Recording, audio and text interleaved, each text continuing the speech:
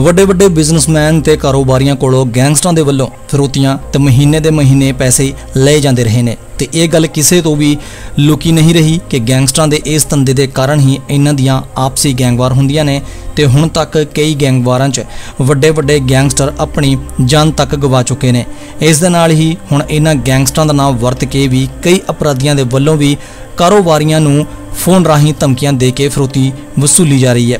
ਜਿਸ ਬਾਰੇ ਬੰਬੀਹਾ ਗਰੁੱਪ ਦੇ ਵੱਲੋਂ ਹੁਣ ਇੱਕ ਪੋਸਟ ਪਾਈ ਗਈ ਹੈ ਤੇ ਨਾਲ ਹੀ ਧਮਕੀ ਦਿੱਤੀ ਹੈ, ਜਿਸ 'ਚ ਬੰਬੀਹਾ ਗਰੁੱਪ ਦੇ ਵੱਲੋਂ ਆਪਣਾ ਨਾਮ ਵਰਤ ਕੇ ਇਹੋ ਜਿਹਾ ਕੰਮ ਕਰਨ ਵਾਲਿਆਂ ਨੂੰ ਕਿਹਾ ਹੈ ਕਿ ਜੇ ਸਾਡੇ ਹੱਥ ਤੁਹਾਡੀ ਡਿਟੇਲ ਲੱਗ ਗਈ, ਤਾਂ ਫੇਰ ਨਾ ਕਿਹੋ ਕਿ ਕਿਸੇ ਮਾਂ ਦਾ ਪੁੱਤ ਨਜਾਇਜ਼ ਮਾਰਤਾ।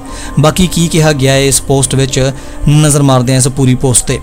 ਸਤਿ ਸ਼੍ਰੀ ਅਕਾਲ ਜੀ ਸਾਰੇ ਵੀਰਾਂ ਨੂੰ। ਇਹ ਪੋਸਟ ਆਪਾਂ ਇਸ ਕਰਕੇ ਪਾ ਰਹੇ ਹਾਂ ਕਿਉਂਕਿ ਕੁਝ ਬੰਦੇ ਸਾਡਾ ਨਾਂ ਵਰਤ ਕੇ ਚੰਡੀਗੜ੍ਹ 'ਚ ਕਲੱਬ ਮਾਲਕਾਂ ਤੇ ਪ੍ਰਾਪਰਟੀ ਡੀਲਰਸ ਨੂੰ ਫੋਨ ਲਾ ਕੇ ਕਹਿ ਰਹੇ ਆ ਕਿ ਅਸੀਂ ਜੈਪਾਲ ਜੱਸੀ ਗਰੁੱਪ ਤੋਂ ਗੁਰਜੰਟ ਸਿੰਘ ਬੋਲ ਰਹੇ ਹਾਂ ਤੇ ਤੁਸੀਂ ਸਾਨੂੰ ਫਰੋਤੀ ਦਿਓ। ਨਹੀਂ ਤਾਂ ਅਸੀਂ ਤੁਹਾਡਾ ਨੁਕਸਾਨ ਕਰਾਂਗੇ। ਅਸੀਂ ਇਹ ਗੱਲ ਕਲੀਅਰ ਕਰ ਦਿੰਨੇ ਆ ਜੋ ਵੀ ਬੰਦੇ ਸਾਡਾ ਨਾਂ ਵਰਤ ਕੇ ਫੋਨ ਕਰ ਰਹੇ ਆ, ਕੋਈ ਵੀ ਹੁਣ ਉਹ ਬਖਸ਼ਿਆ ਨਹੀਂ ਜਾਊਗਾ। ਤੇ ਜੇ ਇਹਨਾਂ ਕਰਕੇ ਸਾਡੀ ਫੈਮਿਲੀ ਨੂੰ ਪੁਲਿਸ ਤੰਗ ਪਰੇਸ਼ਾਨ ਕਰਦੀ ਹੈ ਤੇ ਸਾਡੇ ਕੋਲ ਉਹ ਬੰਦੇ ਦੀ ਡਿਟੇਲ ਆ ਗਈ, ਅਸੀਂ ਉਹਨੂੰ ਬਣਦੀ ਸਜ਼ਾ ਦੇਵਾਂਗੇ। ਫਿਰ ਨਾ ਕਿਹੋ ਕਿ ਕਿਸੇ ਮਾਂ ਦਾ ਪੁੱਤ ਨਜਾਇਜ਼ ਮਾਰਤਾ।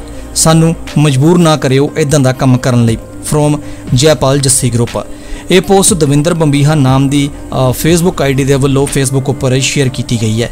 ਤੇ ਬਾਕੀ ਫਿਲਹਾਲ ਇਸ ਅਪਡੇਟ ਦੇ ਵਿੱਚ ਇੰਨਾ ਹੀ। ਮਿਲਦੇ ਹਾਂ ਕਿਸੇ ਹੋਰ ਅਪਡੇਟ ਦੇ ਨਾਲ। ਉਦੋਂ ਤੱਕ ਜੁੜੇ ਰਹੋ ਚੈਨਲ ਪੰਜਾਬੀ ਮੂਵੀਜ਼ ਅੱਡਾ ਦੇ ਨਾਲ।